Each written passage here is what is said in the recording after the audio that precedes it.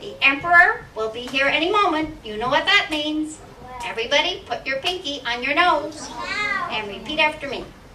I promise I promise to dress my best, to dress my best, to change my socks to change my socks at least five times a day, at least five times a day, to never ever take my clothes off, to never take my clothes off, not even in the bathtub, not even in the bathtub, and to love and respect and to love and respect the Emperor and his clothes. the emperor and his clothes. Bravo, bravo.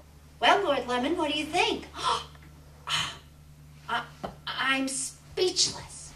Say, I can't see the clothes, but if I tell the Emperor that, I'll lose my job. Can you see them? No. Oh, that's a relief. Tell me, what color is the shirt? Red. What's it made of? Wool. Oh, that red woolen shirt is magnificent. And now, Your Highness, let me please just tidy up your hair because it's nearly time for the press conference. Oh, is that where my new clothes are pressed? No, Your Highness, excuse me. That is where newspaper reporters come and ask you questions. Newspaper reporters? I thought I closed all the newspapers down.